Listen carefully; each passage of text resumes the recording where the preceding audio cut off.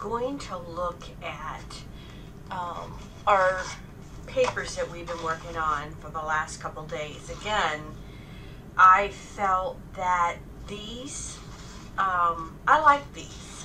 So at this particular point, I'm not going to do anything more to these because I like these. I like these um, with a nice mat and um, to me these are done. These, are ready. So we're going to put these to the side. And and I liked this. This was one that I felt was done with a nice mat. This is my sample mat, so of course it's it's got some marks on it, but I like this. Mat this and is done. Maybe go through it later and I may see some more, but at this point this is done. These are some more that I did. I like this one. I may not do anything more to this. Um, framed with a mat. I like this. So, I'm trying to get it right in frame. So that, that I may put to the side for now. I have others that I can work on. This is, to me, beautiful. I might um, do a couple more things. I might not. Um, there's so many others in here that I have. See, with it matted, this to me is beautiful. So I may not do anything with this one. I may put this to the side. This is one I definitely need to work on.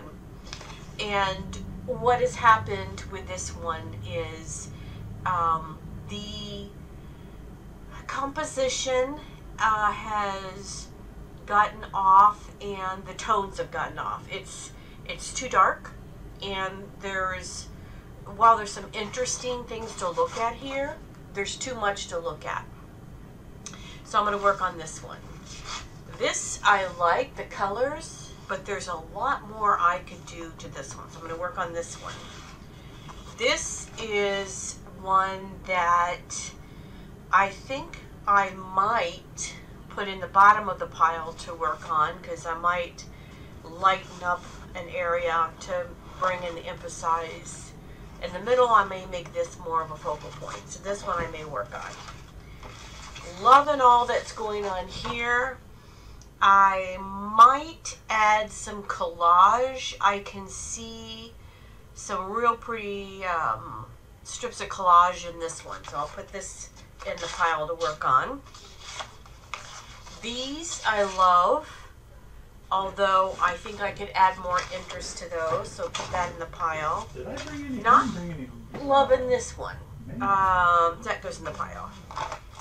And these are ones I did the other day, so um, like, we're not going to work really on slow, those. So I've got several here that I can work on, and I might start with this one. So several of the things that you can do, and let me pull the one that has all that color on it. If I wanted to um, bring out some collage in this one or and stamping in this one. Um, so remember these two when I go through.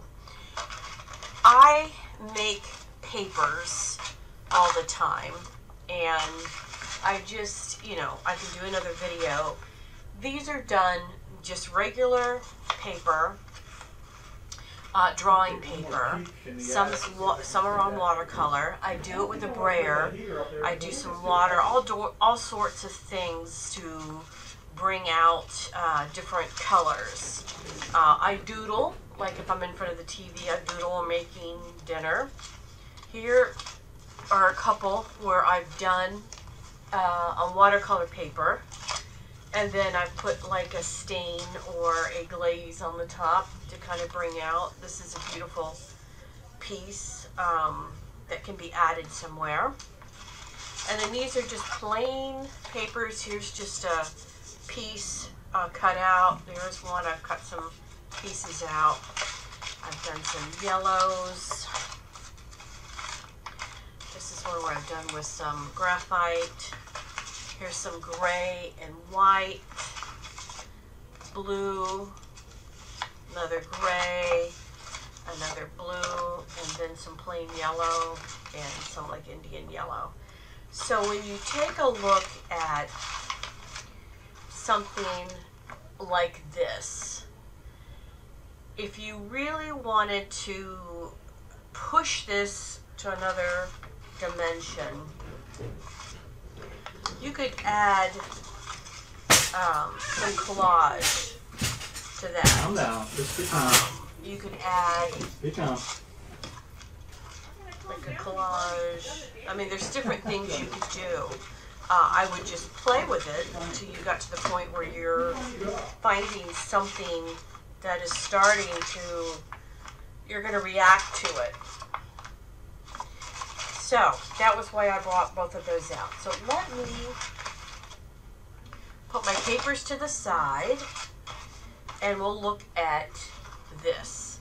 Now, some of the things that you can do to make this interesting, make this fun, is um, some of the tools I have.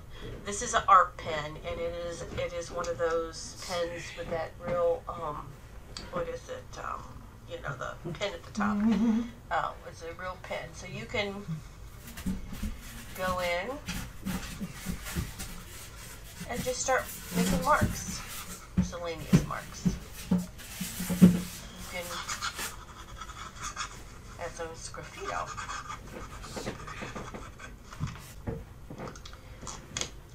Go in mm-hmm. and I love doing dots. Let's add some dots.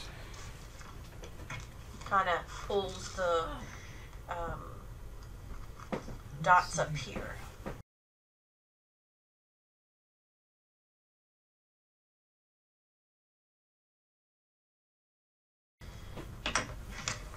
Another thing that is nice, this is um,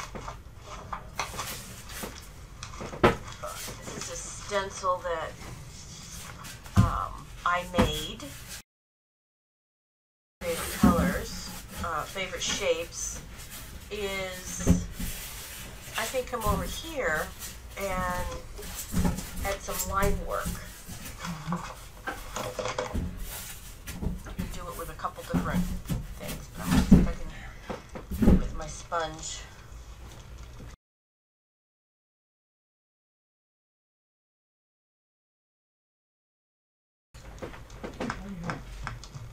Okay.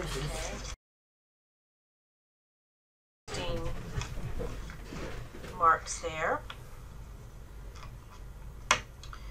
Um, here's some more. Um, this is a uh, uh, crayon, wax crayon.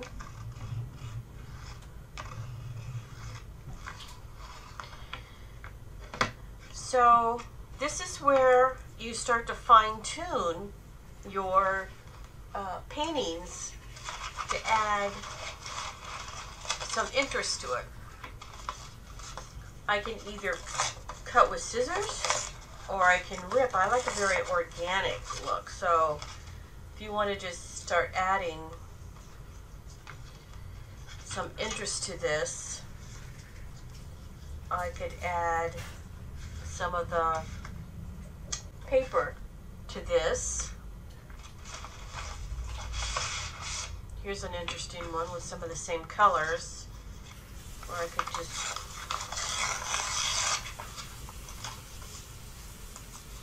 got some marks in it. That's kind of an interesting um,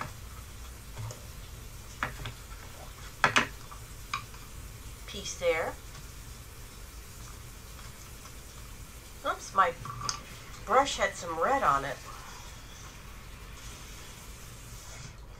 And you know, sometimes those happy accidents let's just push that red through.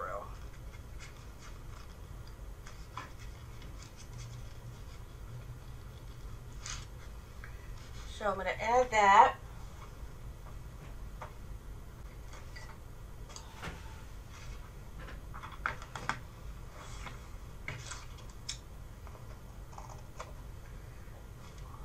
Okay.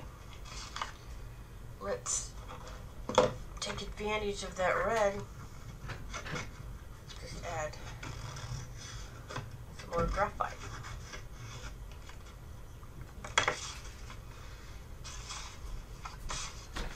I'm feeling like having some drips on this one.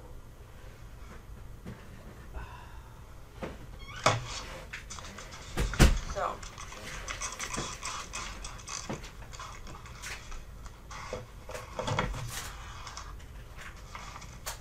Let this drip down. Maybe bring it over.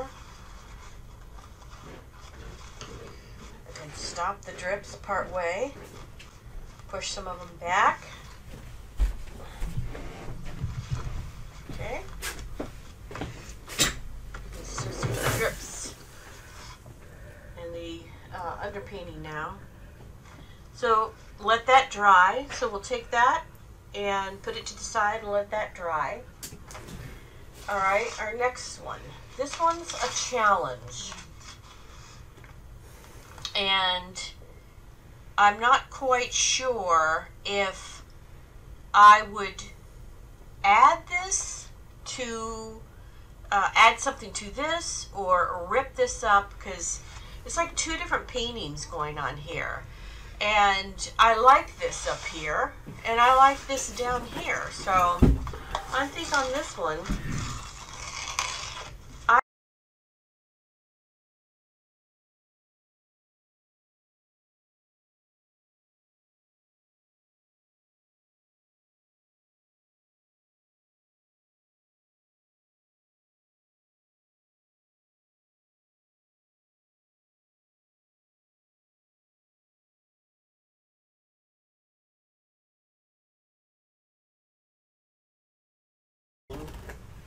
and I have added a piece of that collage right to the middle. Let me see if I can show you. This is a very large painting. So if I were to scan it down this way, I've added a piece of collage. So that's why sometimes it's nice to have collage pieces sitting around to add to a um, already worked painting. This piece right here, like I said, I'm enjoying a lot of the marks, but it's not coming out to be a painting that I am really happy about at this particular point. And sometimes it's okay to let your painting sit for a while. Sometimes the paint and the color that's in the paint will change. A lot of times it will change after you've let it sit. So, um, I think what I'll do is I'm going to cover some of this up here. What I want to do is bring out a focal point on this.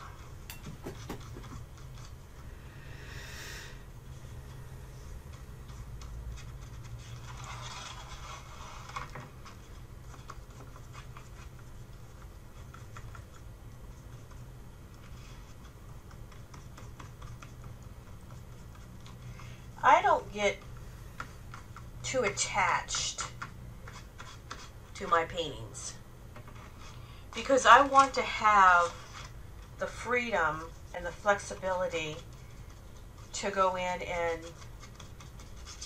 make changes if I feel like doing it. That's the way I've learned. It's it's taken a a risk. Have I sometimes taken it too far? Yes, of course I have. But there are times when I'm done with the painting that I'm I really I really am happy that I've taken that painting to the next level or the next generation. All right, so I'm liking um, some of the middle here.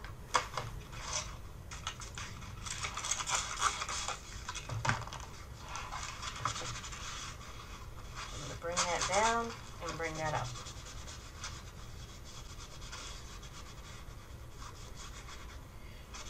So it just muted down those other areas. All right, um, this focal point. Let's see, what we may want to do is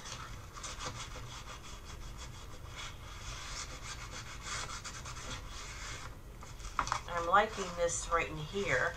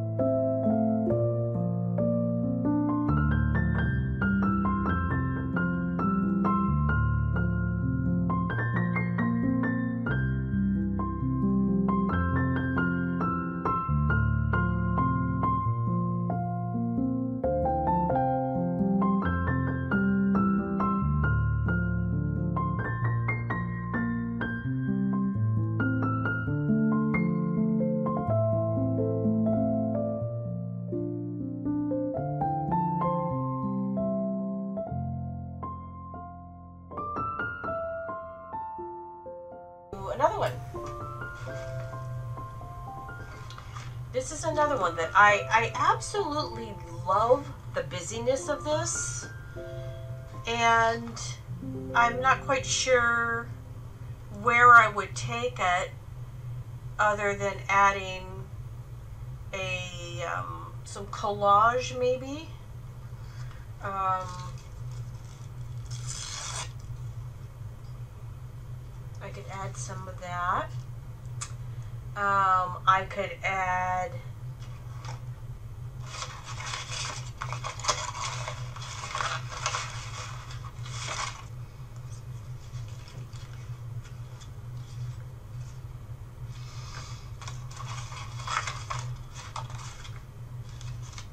it's kind of interesting.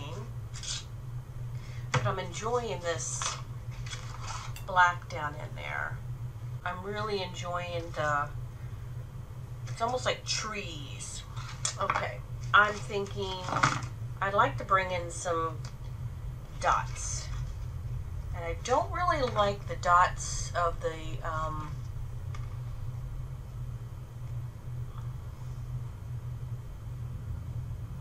I forget the name of it, but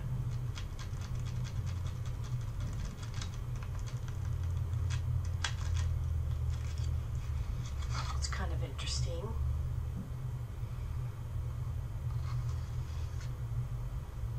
Maybe a larger dot up here. Bubble wrap. That's the word I was trying to think about. I'm I'm in to the to the painting, so it's difficult for me. That's a lot, why a lot of times I do voiceovers. because when I'm painting, I, I don't I don't think. I mean, I'm thinking about painting. I don't think. I'm thinking about painting. So I'm starting to like this because I'm bringing in what happened here is I all of a sudden started to see some the light color and it needed that. It needed the contrast. The composition, I liked all this going on, but the composition needed um, something light. So what I'm doing right here is I am using this natural line that's already here and just adding some another layer of white.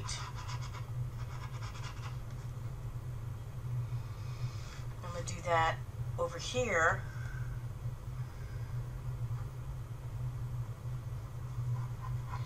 Kind of just scruff in some white. I'm filling in. I'm given the line work that I'm enjoying on here ability to be seen.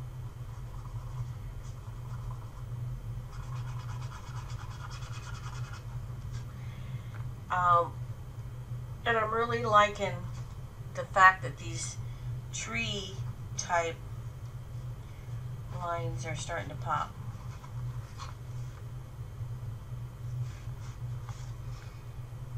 And you know what I'm thinking on this is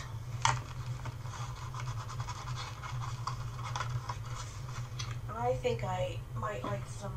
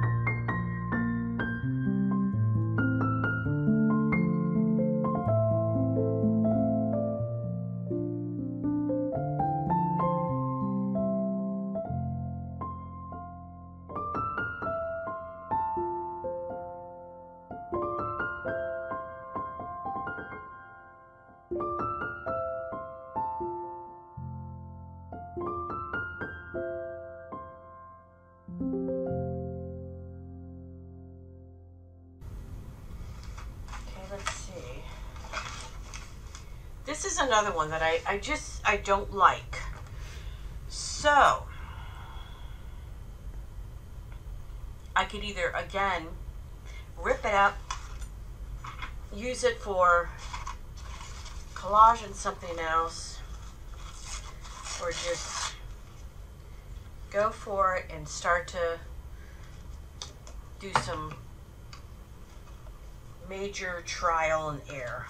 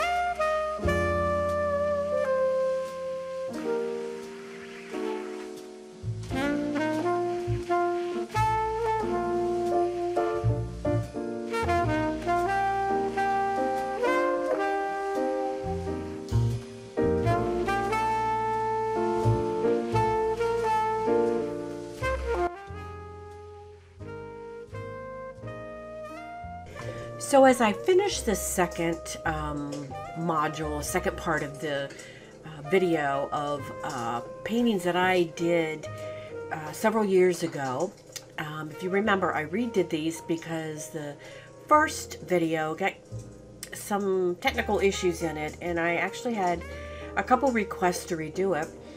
I hope you get encouraged to just jump in there and um, keep trying things, keep taking risks, keep playing. Several of these have sold since the two year mark. Um, uh, there's quite a few of them I haven't even put on my website yet. Periodically, I grab a handful and I sit at my art table with a glass of wine and turn on some music and I just revisit them. Um, some of them turn into collage, but as I watch this, I realize several of them have gone to new homes, which makes me really happy. So I hope you enjoyed this. And um, again, um, Merry Christmas. Uh, have a happy holiday. I hope you enjoyed this and thank you for being, again, a part of my journey.